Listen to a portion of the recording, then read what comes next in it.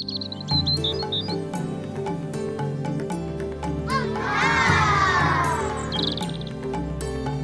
விருது வீவர்ஸ் அனைவருக்கும் வணக்கம். இன்றைக்கு நம்ம என்ன டிஷ் செய்ய போறோம்னு பார்த்தீங்கன்னா மாம்பழம் ஐஸ்கிரீம் செய்ய போறோம். மாம்பழத்துல ஐஸ்கிரீம் செய்ய போறோம். இந்த மாம்பழத்துல ஐஸ்கிரீம் செய்யறதுக்கு நான் வந்து பால் வந்து ஒரு ஆஃப் லிட்டர் எடுத்து நான் பாருங்க இது மாதிரி திக்காக காய்ச்சிட்டேன். இப்போ இதில் வந்து நான் வந்து நூறு கிராம் சக்கரை வரும் அதை நான் இப்போ என்ன பண்ணி இதில் ஆட் பண்ணிக்க போகிறேன் என்னது மாம்பழம் வந்து நல்லா திக் நல்லா ஸ்வீட்டாக இருக்கிறதுனால ஒரு நூறு கிராம் சக்கரை மட்டும் ஆட் பண்ணிக்கிறேன். இப்போ நம்ம இந்த சக்கரை கரையிறதுக்கு நம்ம திட்டி விட்டுக்கலாம். இது நல்லா கரையட்டும். இது பார்த்தீங்கன்னா ஒரு இதில் ஒரு மூணு ஸ்பூன் வந்து கார்ன்ஃப்ளவர் மாவு எடுத்து ஒரு அஞ்சு ஸ்பூன் பால் போட்டு நம்ம இதை மிக்ஸ் பண்ணிக்கலாம்.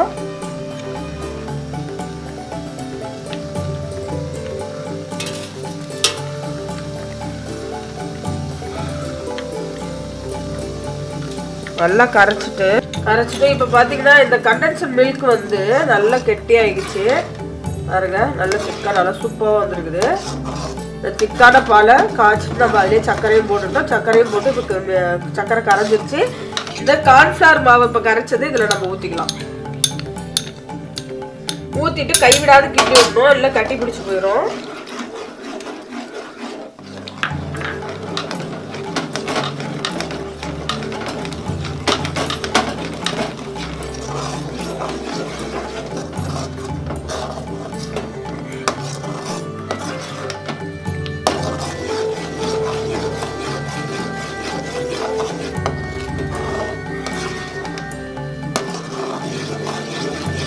இப்போ நம்ம பார்த்தீங்கன்னா இது நல்லா கெட்டி ஆயிட்டு இப்போ நான் அந்த ஒரு ஒரு கப்பு நிறைய மாம்பழம் வந்து எடுத்து வச்சிருக்க தோலெல்லாம் நீக்கிட்டு இப்போ நம்ம இதை இதில் போட்டுக்கலாம் மிக்சியில்.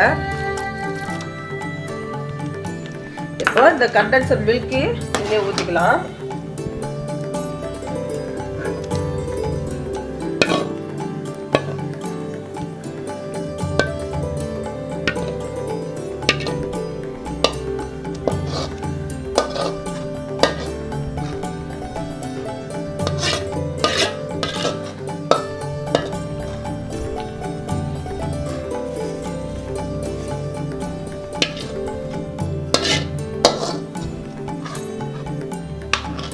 அரைச்சிட்டோம். நம்ம இப்போ ஊற்றிக்கலாம் இதில்.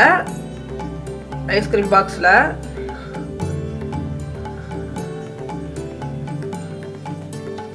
கலர் ரொம்ப அழகான கலராக வந்துருக்குது. நம்ம வந்து பவுட்ரு எந்த ஒரு கலர் பொடி எதுவுமே ப போடல. சூப்பராக வந்துருக்குது. அந்த மாம்பழ கலரே சூப்பராக இருந்தது.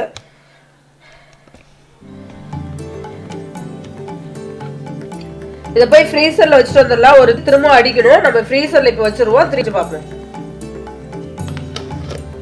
க்ளோஸ் பண்ணி வைக்கணும். நான் க்ளோஸ் பண்ணிட்டேன். ஃப்ரீசரில் வச்சுட்டு வந்துடுறேன். ஃப்ரீசரில் வச்சுருவோம். இருக்கட்டும். எட்டு மணி நேரம் வச்சு இப்போ நம்ம ஐஸ்கிரீம் நம்ம எடுத்துக்கலாம். நம்ம இதை எடுத்து அடிச்சுட்டு வந்துடலாம். வாங்க. மிக்சியில் போட்டு அரைச்சிக்கலாம். நம்ம இதை எடுத்து மிக்சியில் போட போகிறேன்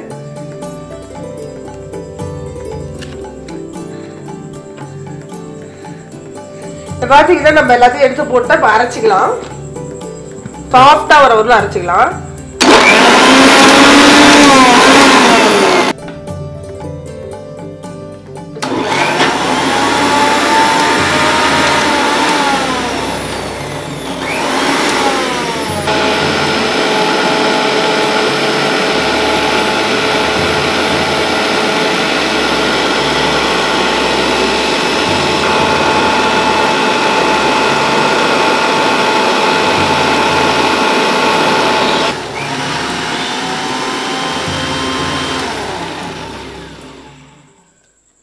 பார்த்தீங்கன்னா நல்லா ஒரு பத்து நிமிஷம் நான் அரைச்சிட்டேன். சாஃப்டாக இருக்கு.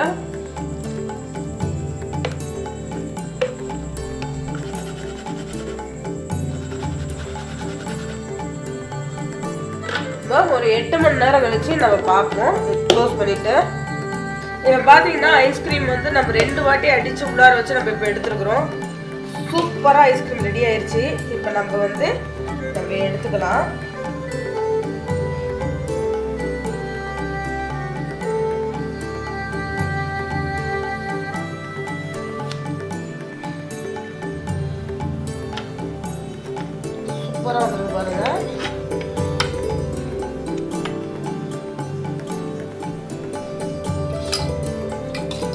அடுத்தது எடுக்கும்போது தண்ணியில் நினச்சிட்டு எடுக்கும்போது ஒட்டாமல் வரும்.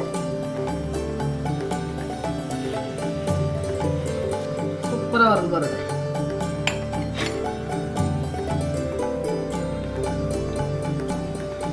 டெக்கரேட் பண்ணுறதுக்கு பாதாம் கொஞ்சம் தூக்கிறேன்